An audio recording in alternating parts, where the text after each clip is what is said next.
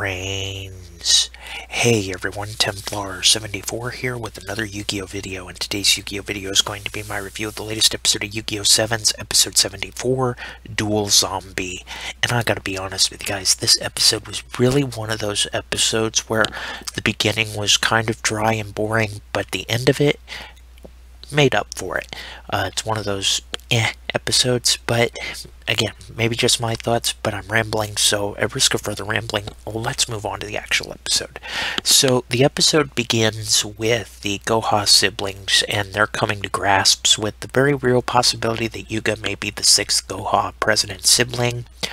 Um, meanwhile, Yuo is trying to make his next move, his next trope, so to say, and uh, it's also during this time that we see zombies invade the Goha Corporation. They're the same ones that invaded the Rush Duel tournament, and Gakuto's trying to figure out just how did they get in, what's going on, and everybody is getting turned into zombies, including Roman and Rook and Yuga, and it it comes down really to Gakuto to save the day.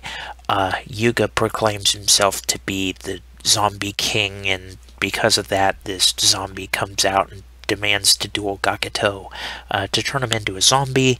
And yeah, these two end up having a rush duel. And the rush duel was okay. Um, zombies were not really one of my favorite archetypes in Yu-Gi-Oh! But uh, they were still fun nonetheless back in the day.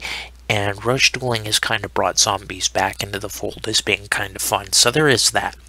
Uh, however, Gakuto, after being put on the back foot, just destroys him with his new fusion monster, Yamatasuru. I know I'm probably butchering that name, but anyway, this thing's called Divine Slayer, and he uses its effects to raise its attack all the way up to 4,000 with the help of a magic card, obliterate the zombie duelist, and everything goes back to normal. The day is saved thanks to Gakuto. End episode that's really the Reader's Digest version of the episode. Like I said, this episode was kind of an eh episode. The beginning part of it was, there were some funny parts in it, but it was mostly like, okay, okay. And then the Rush Duel, it started out alright, and then it really picked up the end. The last, like, three minutes of the episode well, I guess maybe the last five minutes of the episode was really when it picked up for me, in my opinion. But again, those are just my thoughts. Uh, overall, I give this episode a 6 out of 10. It was an okay episode. But uh, yeah, those are just my thoughts, and as always, I want to hear yours. So, in the comment section down below, let me know what your guys' thoughts were about this week's episode. Did you love it? Did you hate it? Did you think it was just eh?